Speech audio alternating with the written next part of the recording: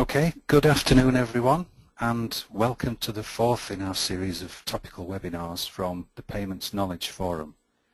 These will be running at regular intervals until the summer when we will take a break before our two-day conference in London on September the 29th and 30th. You can get more information about these webinars, the conference and also up-to-date payments industry news, event calendar and useful links on our website at www.thepkf.org. My name is Anton Godfrey and with us today as presenter on ATM 2020 is Aravinda Korala, the founder and CEO of KAL. KAL is the world's leading ATM software company and the preferred supplier to leading banks such as Citibank, China Construction Bank and UniCredit. Aravinda is a world authority on software technology for ATMs. He was born in Sri Lanka and has a degree in electronics from King's College London and a PhD in computer vision from Edinburgh University. Aravinda worked with PA Technology, Coopers and Lybrand before founding KAL in 1989. Aravinda will speak for about 45 minutes, leaving time to take a few questions at the end. On the right of your screen you should see a small control panel where you may type in any questions that occur to you during the presentation. We will try to get through as many as we can during the time available or follow up afterwards. The whole event is being recorded in WMV format. A link will be sent out by email tomorrow and will also be available through thepkf.org. There are many challenges currently facing ATM deployers and operators, such as decreasing profits, increasing expenses, regulatory compliance, for example EMV, PCI, etc., and security, card skimming, card trapping. But there are also great opportunities to modernize the ATM experience with, or following on from, the migration to Windows 7, with mobile and branch integration and a much more improved experience. So, what will ATMs be like in six years' time? To get KAL's view on this, it is my pleasure to hand you over to Aravinda Korala. Thank you, Anton, for that uh, introduction. When uh, Anton and Denise asked me about forecasting the future, I thought, well, uh, that doesn't seem like a good idea for me to agree to that, but uh, I did anyway. So I start. I looked for inspiration on the internet, and there was this very first interesting thought from Niels Bohr, who said, "Prediction is very difficult, especially if it's about the future." And I agree. Um, the second bit of advice I got was, well, when you um, look at a very long time out, what seems to happen is that people tend to over sorry, uh, tend to overestimate what might happen over a very long period, like say 20 years, but then they tend to underestimate what might happen over a shorter period. So I thought, well, I will try to take that uh, into account when I'm forecasting. And well, the six, six years forward that we're looking is not too um, uh, far out anyway, so I need to kind of get the balance right on my forecasts. And then the thing that really gave me confidence is that last point, uh, somebody said that forecasting is the art of saying what will happen and then explaining why it didn't. Uh, so I'm really hoping that Dennis and uh, Anton will invite me back in six years' time to explain why my forecasts weren't uh, correct. So here we go with that uh, thought. First of all, a little bit about the backdrop. Uh, you know, what will the world look like in 2020 before we start talking about ATMs? So this is something that I got from the internet uh, with some slight modifications uh, with new data that I got uh, this week. So almost 8 billion people in the world. GDP will be 40% higher than it is now. Uh, most people, uh, more than half of people uh, around the world will live in cities. And China's GDP will overtake the US, it said, but actually it turns out that strangely enough there was a particular piece of uh, uh, information that came out this week. It was actually released this week based on a World Bank study, and it looks as if on a PPP basis, uh, China will overtake the US this year. And that was actually published in the Financial Times a couple of days ago. Um, so that means that in 2020, China will perhaps be 10 or 20% ahead, given the rate at which it uh, grows at the, at the, at the moment. And, and, I think that will also uh, change the way uh, the world looks at all kinds of issues, and we'll talk a little bit more about that as we go uh, into this presentation. Six billion people with mobile phones. Well, in fact, uh, almost every, every adult has a mobile phone already, and, and that applies even in Africa. 5 billion people with internet access, smartphones. This is quite an interesting forecast from the internet that uh, the processors will be faster pretty much and bigger pretty much than standard PCs today. 10 gigahertz processors, 1 terabyte storage, just in a tiny smartphone that you'll be holding in your hand. 50 billion connected devices globally because most of our hardware will be connected to the internet. That's a huge, huge number. Oh, and uh, a quick little forecast. Uh, I think that the last doors to ATM would have been decommissioned finally. But let's talk a little bit about ATMs in 2020. Well, China is likely to have 800,000 ATMs and would have taken, overtaken the US by quite a large margin the EU plus the US probably together will match the, the Chinese number. And, and, in many ways, I think the story of 2020 will be that in many aspects of business, the EU and the US need to uh, pull together in order to match uh, Chinese numbers. Um, now, this third point here, as you can see, I'm staying a little bit conservative on this one. I'm not forecasting huge changes to the way ATMs are structured I think it'll be mostly a Windows uh, ATM world now, focusing here just on bank ATMs, uh, running Windows 8, Windows 9, perhaps Windows 10 if it is out by then. And then, of course, there'll be some Windows 7 and perhaps a little bit of XP still left and some Linux.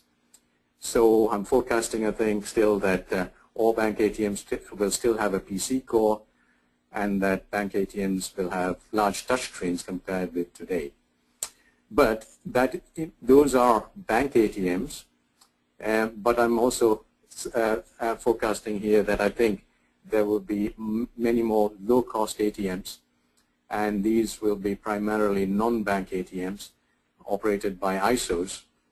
And, and I think Android and Windows will dominate. And there is a reason I say Windows here, because uh, you see in that bracket I'm saying Windows Full and Windows Compact. Windows Compact being the CE version of Windows. But there is a little bit of interesting news here. Windows Full uh, is going to be free of charge from Microsoft for ATMs that are less than 9 inches in screen in terms of the screen size.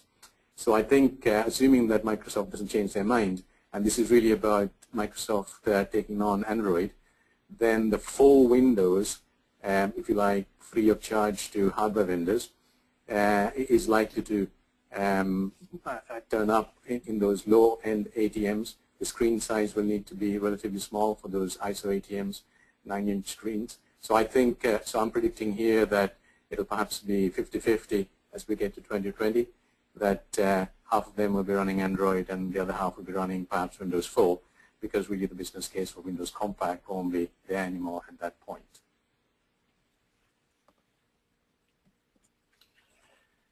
The next slide here is courtesy of RBR. Um, these are their numbers from their 2018 forecast that they published recently.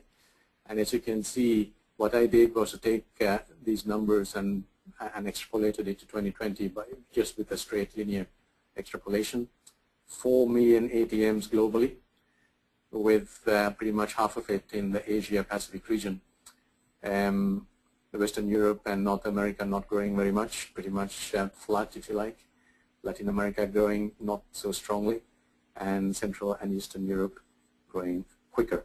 And then of course Middle East and Africa growing faster.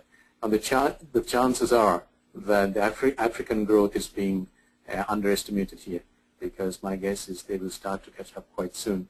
It's hard to know when the knee of that curve is going to be, but I would have thought that would be before 2020. So I think that African number is probably an underestimate.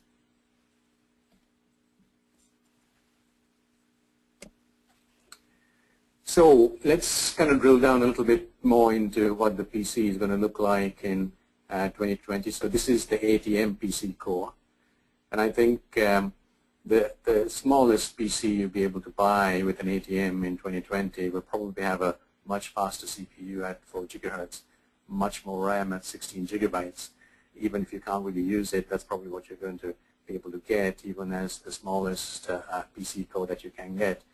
Faster, bigger mass storage, I'm, I'm suggesting a, a 1 terabyte SSD because, you know, just like today, even though the ATM might be using only 50 uh, gigabytes of hard disk, you still you know, need to buy a 500 gigabyte uh, device because you know, it's just uh, too expensive to manufacture those small uh, size uh, machines just for a small market like the ATM market. So the, the ATM market will uh, need to stay up to speed with what the PC business is doing because that is, of course, the way that ATMs will keep their costs under control because obviously it is the right thing to do for the components of the ATM that can be from a mass market like the PC market or like the Windows market that it stays with that market because you know Windows, for example, is a tiny part of the total cost of running an ATM. So I, am forecasting here that Windows will dominate uh, bank ATMs uh, even in 2020, and that uh, also that there will be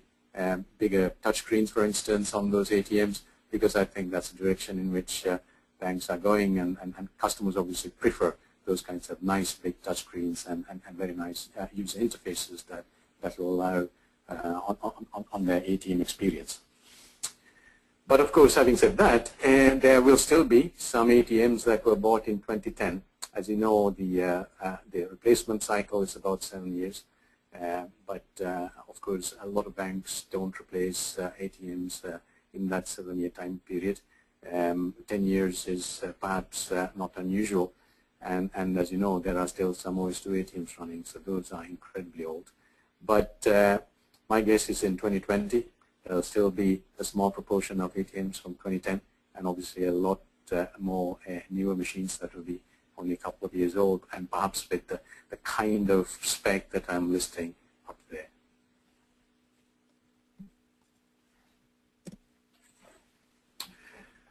Um, this slide now, I'm, I'm, going to look at specific aspects of the ATM market. Um, 2020 I'm, I'm uh, comparing cash dispensing with cash recycling here and asking the question as to whether uh, that uh, ratio is going to change. And I think uh, definitely yes, I think. Um, cash recyclers, as I say here, will come from the Eastern markets. The Japanese today, uh, pretty much 100% of Japanese machines are recyclers. And in fact, Japan uses the word ATM um, uh, to mean exactly a recycler, and they have a different word for cash dispensing machines, they call them CDMs, um, because it is normal for Japanese uh, ATMs to have full functionality, uh, especially recycling. And then uh, the Chinese numbers have increased uh, very rapidly. Um, only a few years ago, around 40% of ATMs were recyclers in some of the big banks, like China Construction Bank, who are a KAL customer. Uh, CCB have uh, 77,000 ATMs today, and 60% of their ATMs are recyclers today. So I'm not uh, forecasting that that's going to increase to 100% because in, in, the Japanese situation it is 100% partly because that is just what uh, Japan does. And once you get numbers like that, it is very, very hard for any manufacturer to sell a CD machines, a cash dispensing only machines because of economies of scale. So, so that, you know, it's either 60% if you like, or 100%, there isn't an in between because it's because very quickly the business case begins to disappear for the smaller proportion. So I think 60 to 70% is probably the right number because in China at the moment anyway, what they do is to decide on a location by location basis whether to put uh, a, cash dispenser or a cash recycler and just through sheer calculation of business case they've come up with this 60% number as the stable number. Uh, it might still increase a little bit, but I'm uh, guessing that it probably won't get to 100% Japanese type scenario. And I think uh, my bullet point number three is that the EU and US will actually go down that route of recycling. It will take a, a little while for that to happen. There are, of course, small numbers of recycling projects in the EU and the US. Um, so my forecast here, 20% of new ATMs in the West uh, will be recyclers in 2020.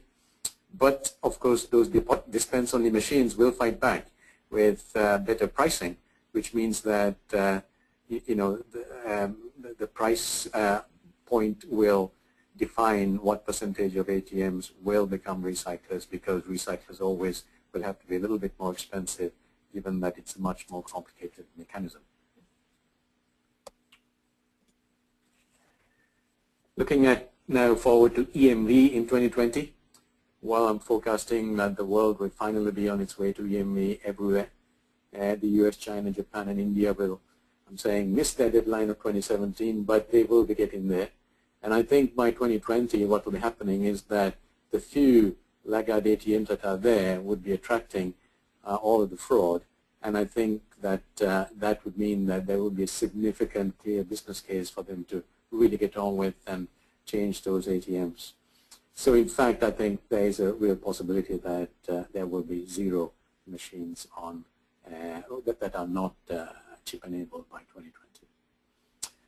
So, uh, you know, final bullet point there is really that the pressure will be on to, for everybody to really to get to EMV. Fraud on ATMs, well, I think uh, really um, a, a optimistic uh, point of view here. I think fraud on ATMs will finally be under control. The magstripe really is the problem in keeping fraud high, even in uh, Western Europe where it is EMV, but obviously having to fall back to magstripe creates fraud which comes in from other countries, essentially in importation of fraud. But I think once uh, the, the, big countries are converted to EMV, then there'll be a lot of pressure on other people uh, to be EMV compliant. And I think um, uh, I'm boldly forecasting here that uh, by 2020, the magstripe will be banned and that it won't be possible to do, um, you know, card skimming uh, fraud will be just a bad memory the total amount of fraud, just looking at the U.S. only, and the, the, the number there, the, the, last bullet point there, is in 2009, according to Forbes, uh, fraud was uh, uh, unbelievable, 190 billion U.S. dollars in that year alone. Uh, now, not all of that is ATM. In fact, ATM fraud is a small part of that. Quite a lot of this is uh, card holder not present transactions and uh, fraud on the internet. But still, it's a huge, huge amount of fraud. And I think by 2020 we'll be on our way to reducing those things. I'm not going to forecast what I think is likely to happen outside the ATM world in terms of um, um, internet fraud and so on because uh, basically I don't know much about that. But uh, I'm, I'm, hopeful that it's going to be much better than it is today. Aravinda, we have a, a question from um, Hugo Montel. Sure. Um, he's asking that um, you're forecasting Android as a possible operating system for ISO ATMs. How do you propose the security hardening in those ATMs?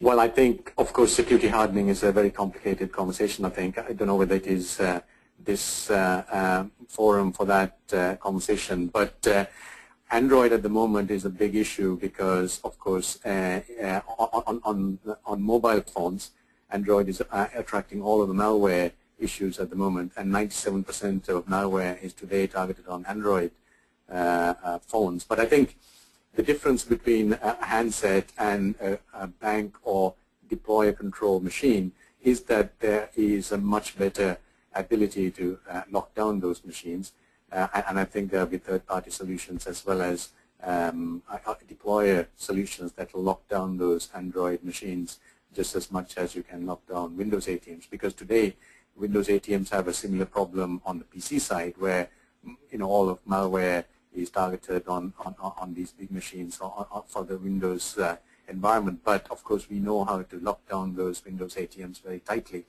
And the real difference is between an, a deployer or bank-controlled uh, machine versus what uh, uh, consumers use. Uh, because obviously nobody controls the software on those machines and, and people are always often very lax with that. Okay, thank you. Thank you, Tom. So contactless on ATMs in 2020. Um, I, I, think uh, ATMs will support contactless cards. It is very important to do that. Contactless cards are very popular for uh, from a customer perspective.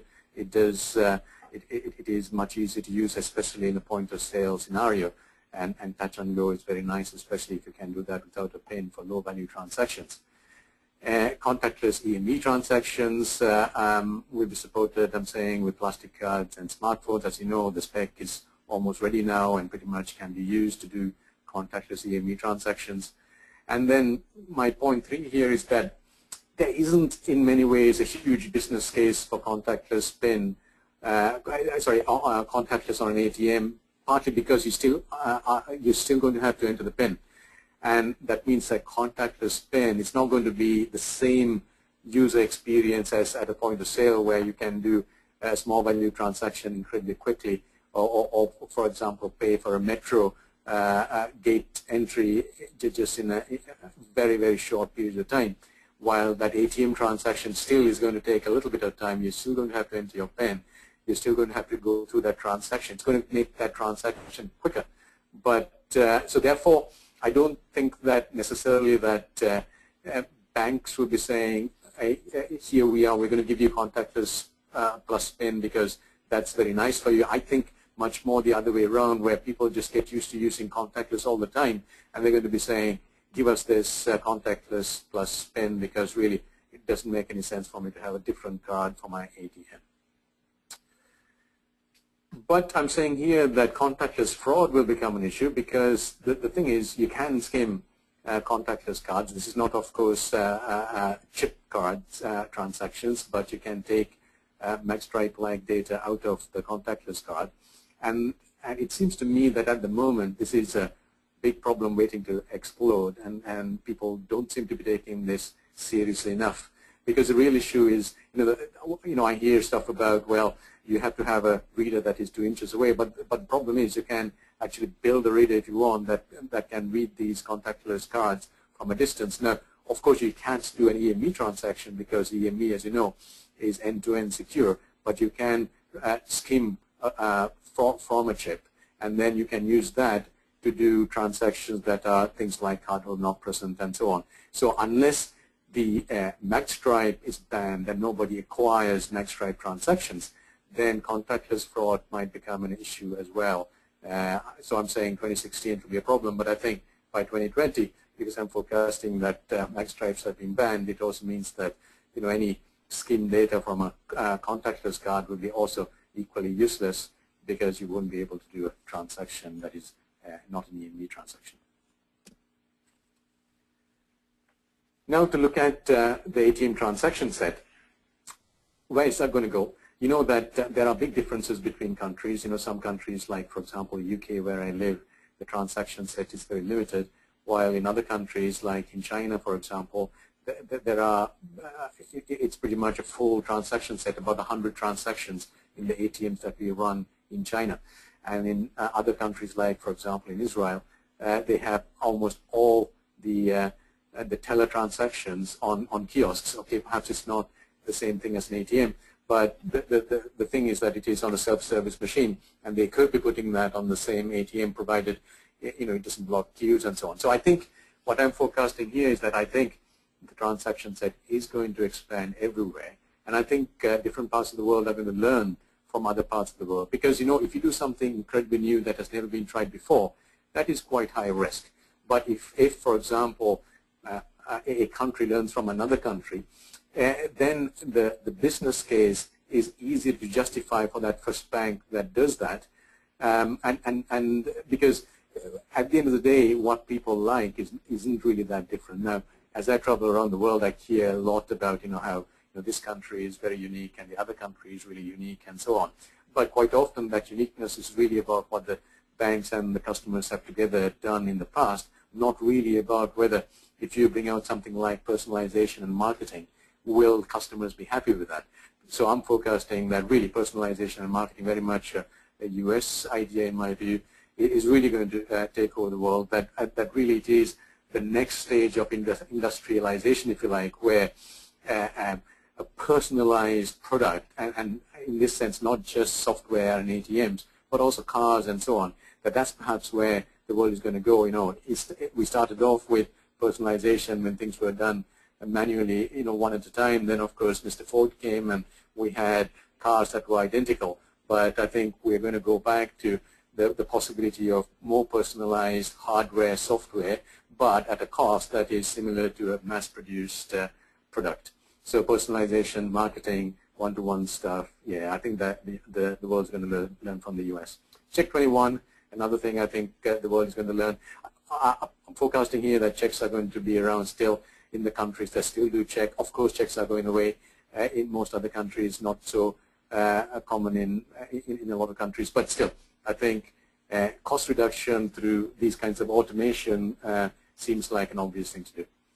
The EU, I think, teaches the world EMV and security. It does that today, and it does that well. And I think there is some, uh, the world is going in that direction. I think it seems to me that Asia is teaching us all about recycling and extended transaction sets. So, so I think some of what is going to happen here is that things have, that have been demonstrated to be successful in other countries will be exported, and it'll be a much more global world, much more globalization, um, vendors would be able to travel to other countries and deliver solutions without having to have the, the complex barriers that they've seen in the last 10 years. ATM management in 2020, um, well, you know, uh, there isn't a big forecast here. I'm just saying it's going to be much better than it is today. Um, software is going to be updated online even when the operating system is upgraded. Banks will be updating their software regularly, I think, in order to stay competitive. Um, I still hear banks saying, well, you know, I, I, if I didn't have to change my software uh, in 10 years, then I'll be happy. I, I think I find that very uh, uh, strange because, you know, this is a very important business tool. Uh, I'm sure you don't run uh, DOS on your laptops anymore. Uh, you don't run Windows from 10 years ago. And there are reasons why you don't do that. Hardware monitoring, I think, is going to be a lot better than it is today. Of course, a lot of banks have, have this today, real-time monitoring, instant knowledge about what's happening. But there's a whole bunch of banks who don't have that kind of technology. And then, of course, all of that means much better cost management. So ATMs still are incredibly expensive to own and operate and run. There's no doubt that uh, there is a huge amount of cost management that still can be done, cost reduction that still can be done. And I think uh, that will also change the attractiveness of cash to banks. Uh, uh and, and I'll talk a little bit more about that because I'm going to forecast that cash is not going to go away and I'll show you some numbers in a moment. So cash forecasting, uh, still, you know, loads of banks who don't really do uh, formal cash forecasting or perhaps they do it manually. Uh, and, and, you know the cost of uh, not forecasting right is huge, you know that. Because when, when somebody goes to the ATM to replace the cash, then there's still a large amount of cash still left. And obviously you don't want to be in that situation. So basically, quick summary, banks are going to have uh, incredible visibility of their ATM networks by 2020. Biometrics, well, I'm going to say that uh, I'm going to sit on the fence on this one. I think biometrics is not a clear-cut benefit uh, um, to, to everybody. Uh, India and Brazil will uh, forge ahead, and no, no, doubt there'll be a few other countries that do that. But I think other folk are going to be uncertain about privacy and, and data protection.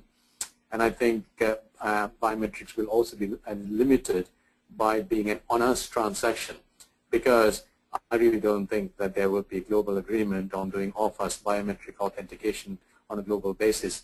Just customers are not going to be comfortable with, for instance, their fingerprint being uh, authenticated when they travel around anywhere in the world.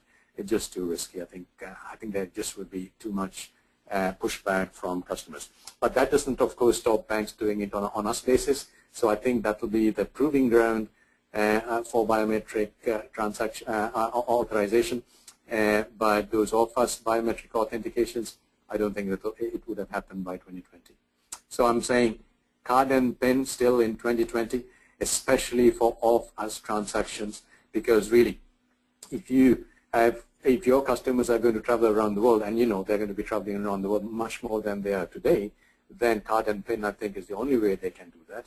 And of course, you do need to be a little careful that you don't move your customers so much to on us that they don't remember their pins when they travel abroad. So that will be a little challenge to handle. Personalization, I guess I already covered this, so yeah, I think uh, I'm, I'm, I'm, forecasting 2020, every ATM is, per, uh, the software is personalized.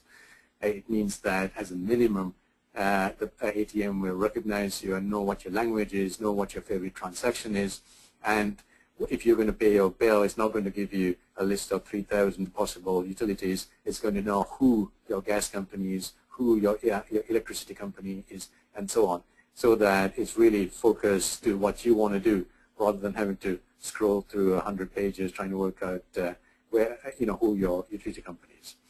So I'm saying the customer here is recognized as an individual. Again, you know, in, by this I mean not just as a card number, but as a person who has a bigger relationship with the bank than just uh, the card uh, account number that might have multiple accounts and so on that uh, are tied together so that you'd be able to do transactions with one card uh, on, on, multiple accounts. One-to-one -one messaging, marketing, pretty standard, I think, by 2020. Now, assisted transactions. I think this is going to be the rising star in 2020. Um, more transaction types as they get added to the ATMs uh, will be added along with, I think, live video teleconnections. Why? Because I think that however much you can make a self-service ATM application incredibly wonderful in terms of the user interface, customers just will not feel comfortable with doing those transactions if they do the transaction only once in a while. Let's take an example. Let's say that somebody transfers money abroad uh, to, to an unfamiliar country once a year.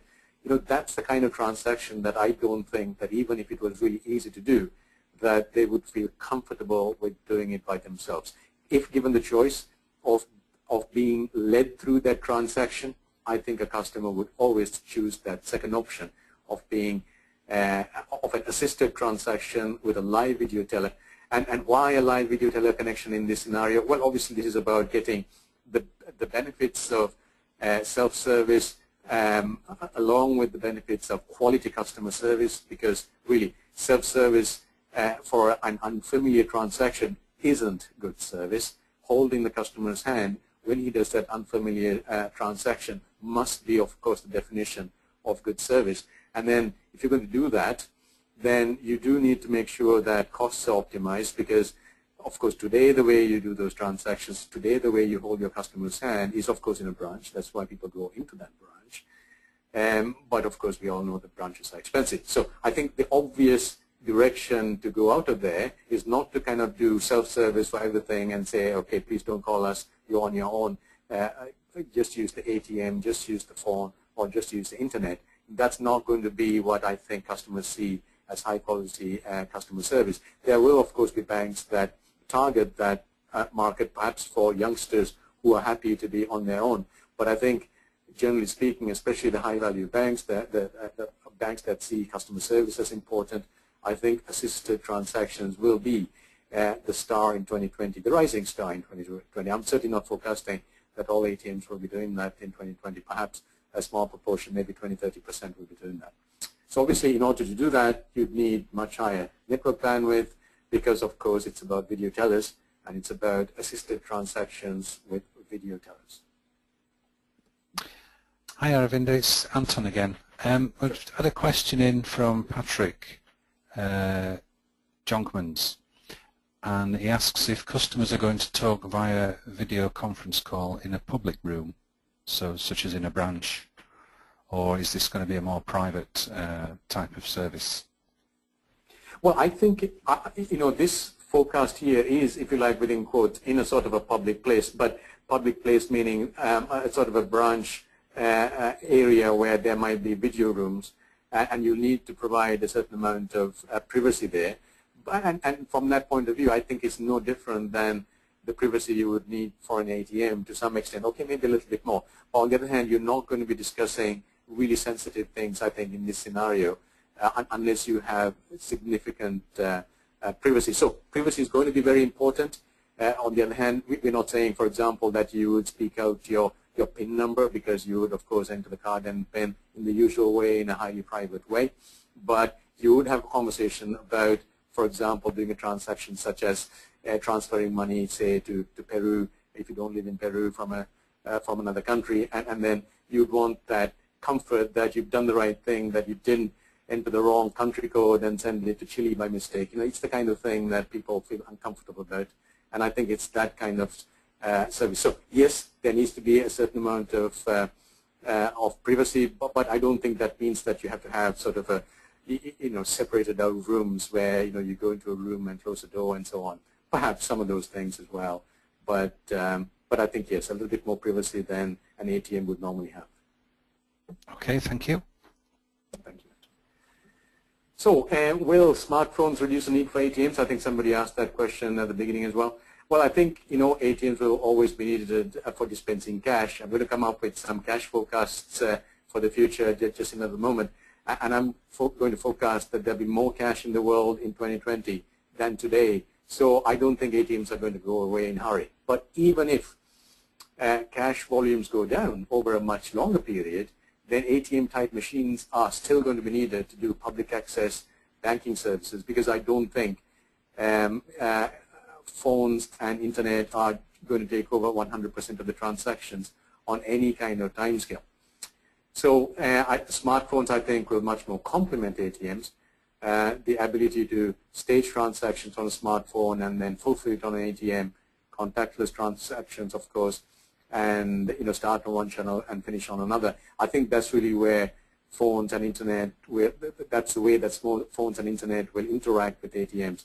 So uh, ATM numbers, I'm going to forecast that it's going to continue to increase up to 2020 and probably beyond.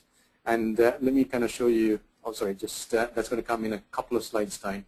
Uh, just before I do that, um, Anton asked me you know, to forecast a little bit about uh, some of the standards. Well, I think it is going to be an XFS standard for ATMs. Uh, I, I, don't think JXFS is going to make it for ATMs. I don't think Java is going to uh, turn up on, eight, on the ATM itself, but of course there is a lot of Java on the server side. So I think ATMs are going to have an architecture similar to today. So taking a little bit from that first slide of mine, so I'm not proposing that much is going to change in this area. And I think the thin client versus thick client battle I think that battle will continue to rage. I don't think there's a clear cut, there's going to be a clear cut winner in 2020. Updatable ATMs. Um, this is uh, um, an initiative of ATMIA and, and uh, KAL was involved in this as well. We think that ATMs will be easy to upgrade uh, by then and in fact uh, there is pressure on to make sure that ATMs are in quotes updatable in the sense that it is easy to go from Windows 7, Windows 8 to Windows 9, upgrade the software, upgrade the uh, PC part of it. Uh, because really, at the end of the day, if you think about the fact that an ATM has a lifespan of 7 to 10 years, the, the PC core and the software staying uh, for 7 to 10 years, really, I don't think that's going to be tenable. I don't think that makes any sense. Because really, that part of the technology is moving at such an incredible rapid rate. And to say that you wouldn't want to change your hardware regularly uh, in terms of the PC core would be, I think, unusual. I, I don't think that will be the case by 2020. I think it will be the norm that the hardware, in other words, the, the, the, the components, in other words, the, the cash dispenser and so on will last 10 years. But you're going to be replacing the PC core much more quickly, the software much more quickly. From that point of view, it will be much more like, I think, the aircraft uh, uh, experience, where quite often an aircraft may be 25 years old, but most of the components have changed over that time period, and probably only the uh, the, the, uh, the external body of it hasn't changed over that 25-year time period. So I think the PC core and the software, uh, and, and, here I don't just mean the operating system, I mean all of the software, will track what is happening in the internet, what is happening in the rest of the world, while of course the dispensers and the card readers don't need to move that quickly. So, so I think hardware lifespans will be seven years to 10 years, but the software and the PC cores will move faster. And the ATMIA's updatable ATM logo program is about that. And uh, the first meeting was last month. And if you haven't joined the committee, please uh, do consider joining the committee. Because what ATMIA wants to do is to come up with a plan that makes it possible for the vendors and banks to cooperate in creating this updatable concept. A little bit about cash. So is cash going to die? Well, I don't think so at all. And here, here, here is a little bit of that evidence. Now, that uh, um, graph that you see there is a total number of banknotes, and that's not the value, that's the total number of banknotes in the Eurozone uh, from 2002 to 2014. You see it more than doubled. And more interestingly, much, during much of that period, for about uh, uh, 10 years, the Eurozone had a war on cash. They were trying to convince people that they shouldn't use as much cash as they do. And in fact, you know, it was a failure because people like cash. People like cash for a whole bunch of reasons. And I've got a slide on what I think is the reason people like cash. I'll come to that in a little moment. And uh, because of that, uh, the, the European Commission dropped their war on cash. So as you can see, um, cash seems to be going up in a linear line. Uh, I don't think that's going to change in 2020. So I think there will be a huge need for ATMs still in 2020 in the Eurozone. And of course, the US is no different. As you can see, total number of uh, uh, notes in circulation has inc increased in the US recently.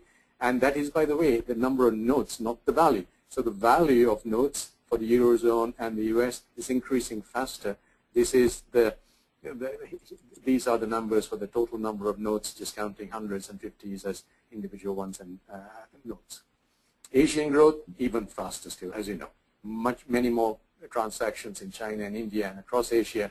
So cash is, continues to grow at an incredible pace today, and I, I, and I think it's not going to change in 2020. Perhaps we might begin to see the slowing down of cash, perhaps, but I think there's no evidence at the moment that that will be the case. So let's talk a little bit about why cash. Well, let me be a little bit uh, uh, cheeky here and say it is secure. It is much more secure than, a, uh, than electronic transactions today because if I gave a 10 pound note to somebody else, you know, that is a 10 pound note. Uh, it cannot suddenly become 50 pounds out of my, my pocket. So person-to-person -person payment uh, without an intermediary, that's one of the reasons why people like that. It is a limited liability tra uh, uh, transaction. When I hand over a 10 pound note, it is 10 pounds. I don't need to go check my bank account to see that somehow or other that person's taken 50 pounds out of my bank account. You know, those concerns are just not going to go away in a hurry, I don't think. And to an extent, the electronic world hasn't made electronic transactions secure enough that those concerns are going to uh, go away. So my point point two there, just jumping back up there again, uh, you don't need an internet connection, of course know, sure by 2020 internet's going to be much more prevalent, it's going to be that much easier. But cash is still going to have that advantage that you don't really have to have an intermediary. You don't need to be telling somebody else about the transaction. You don't need to worry about whether that transaction was safe or not. You don't need to worry about malware on your personal device. And to an extent, malware on the personal device, I think that would be a permanent issue. And, and why do I think that? Because it's not because it is a war that is going on. It's not that there is a fixed amount of malware and then as soon as the rest of the world works out uh, how to stop that malware, we're good. Because as you know, uh, when, when, when the, the industry comes up, uh, up with ways of blocking malware, then the malware authors find different ways of attacking it. Just to give you some numbers, uh, the um, PCI committee quoted McAfee as saying that in 2013, in one quarter, in a single bad quarter, McAfee discovered 20 million new pieces of malware in just one quarter.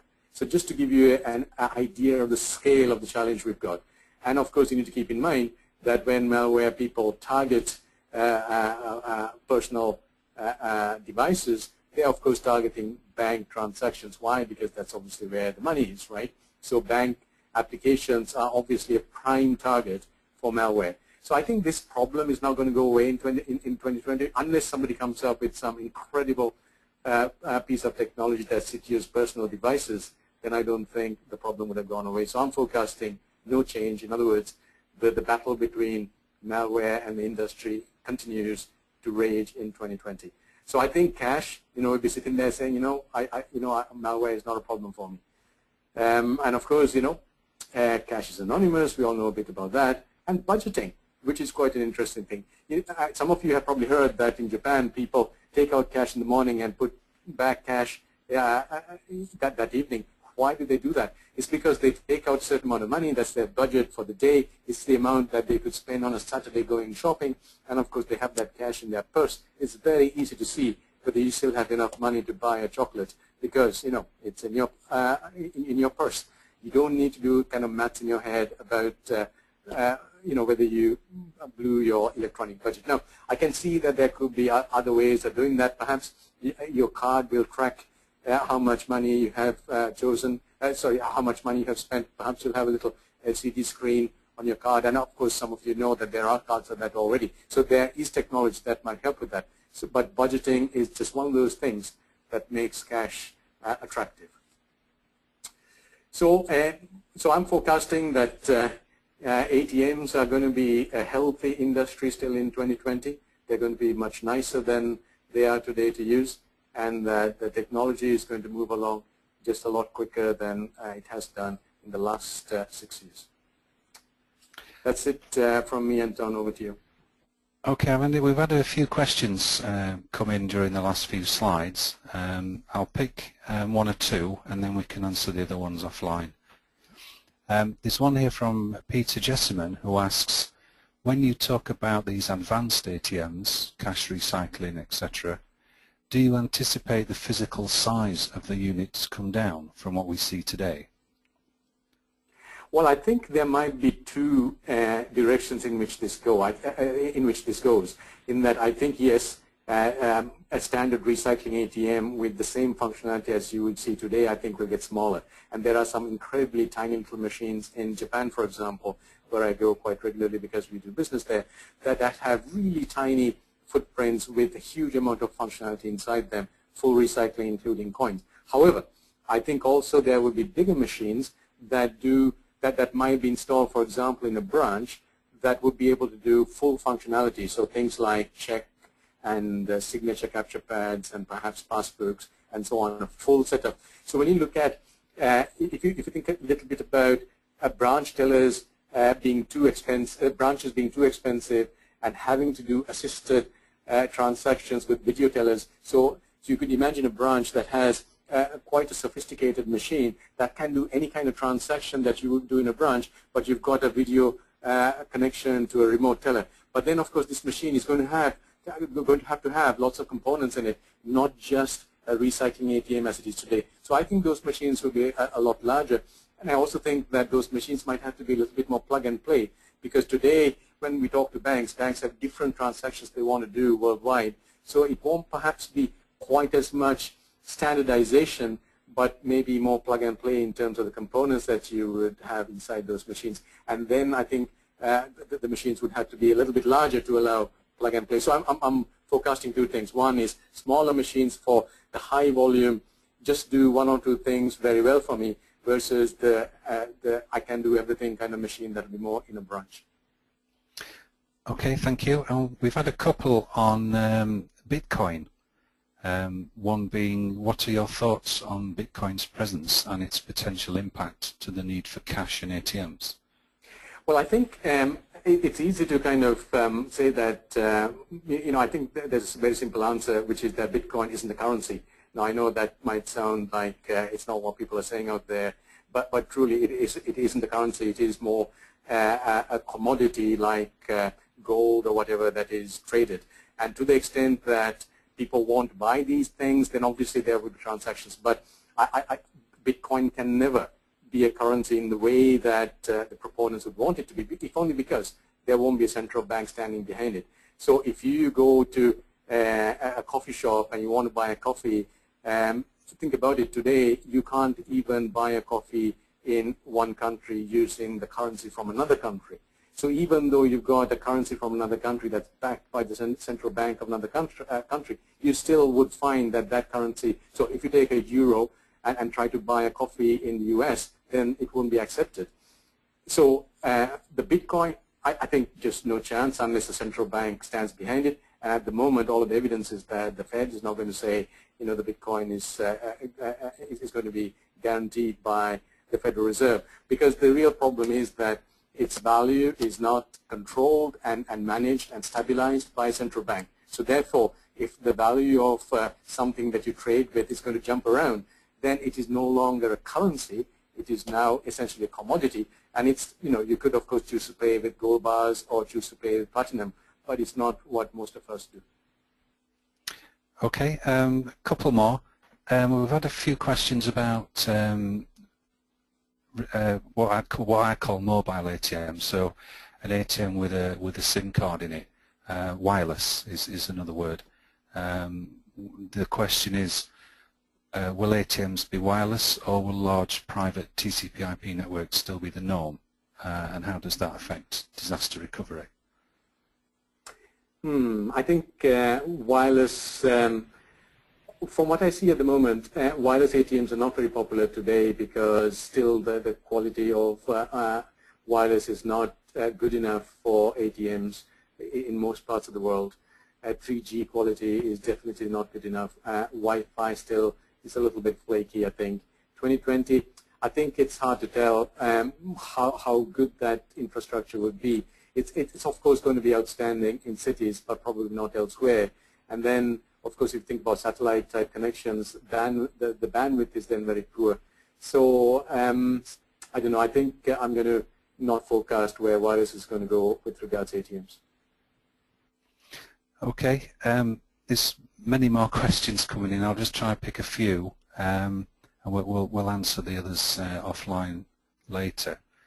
Um, there's one here about um, ATMs adding supported transactions, but in developed markets, users will be doing more of these online and via their bank's mobile apps. Uh, will the ATM simply become a terminal that offers functions requiring physical interaction? I don't think so because I think, yes, of course, people will be doing transactions much more with mobile phones and, and, and with the internet. But I think also there will be as continuing question marks about the safety of those transactions. And I also think that I'm predicting that in 2020 we won't have found the, the silver bullet to get rid of these uh, uh, security concerns. So I think the ATM will continue to be the secure way to do these transactions, incredibly secure, and more so even in, in 2020. And why would an ATM be more secure than a PC or, or, or a phone? Just very simply, the, the software and hardware is controlled by the deployer, so it can be secure. The problem with the PC and, and, and with the hand and, and, and with the phone is that the consumer is uh, installing whatever he or she feels like on those machines. And I don't think that that problem is ever going to go away, uh, certainly not by 2020. So I think the ATM will still be needed to do a whole bunch of transactions. And also I think a lot of people will probably have concerns uh, even more so than they have today about the safety of mobile and PC transactions. Okay, we'll do a, a final one um, and then I'll pass all the other questions. Uh, we can do that offline. Um, the final one is, do you think that because of the level of sophistication and functionality there will be, uh, will there be a reduction in the independent owners of ATMs and deployers, I would imagine, as well? I don't think so, actually, because I think, if you think about it from a global point of view, there aren't very many independent owners outside of the English-speaking countries, as you know, partly because of regulation and so on, but also related to the cost of doing transactions. And one of the biggest issues uh, with merchant uh, refill is, of course, whether you can use those nodes, uh, yes or no. And, and there are rules about that in the, in the Eurozone, as you know, but also the rules are pretty similar in most other countries. Now, I think those rules are going to change, but also I think technologies are going to allow those kinds of transactions. Sorry, uh, for uh, it's going to allow third parties run ATMs. So I think um, my guess is that um, on a global basis, uh, there'll be more third-party operators than there are today on a global basis. But if you ask me in the English-speaking countries, would there be more? Uh, perhaps not, uh, because maybe uh, it's, it's come to a kind of a stable ratio after very rapid growth in the early days. So, so that may be the, the, the ratio that other countries will get to over some period of time. Okay, thank you, Aravinda. Um, as you said in your introduction, uh, predicting the future is very difficult. Um, but thank you for your view in a, in a really excellent presentation. Um, for everyone still on, a link to this recording will go out tomorrow so that you can review all of the information at your leisure and we will aim to follow up on any of your questions which were not answered today. Our next webinar is scheduled for June and will be presented by Diebold. When final details are confirmed, we will inform everyone by email and through the website. In the meantime, please don't forget to keep in touch with what's happening at the Payments Knowledge Forum via the website www.thepkf.org. Thank you once again, Aravinda, and thank you all for attending. Goodbye.